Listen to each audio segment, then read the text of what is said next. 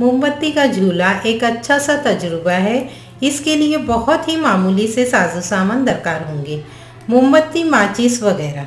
पहले मोमबत्ती को दूसरी तरफ़ से भी नोकीला बना ले, ताकि इसकी वाद नज़र आए। फिर इसके बिल्कुल दरमियान में एक लंबी सुई दाखिल करें, ताकि इसका तवाज़ुन दोनों तरफ़ बरकरार रहे। इसके बाद दो कप लें और टेप की मदद से दो लंबी सेफ्टी पिन टेप कर दें। ये दोनों स्टैंड बन जाएँगे। दोनों सेफ्टी पिन की आँखों में सुई को दाखिल करें ताकि मोमबत्ती बिल्कुल मुतवाजन रहे। फिर मोमबत्ती को दोनों तरफ़ जला दें, फिर मुशाहिदा करें। जैसे ही मोमबत्ती पिघलेगी वो बूंद टपकेगी और ऊपर उठेगी।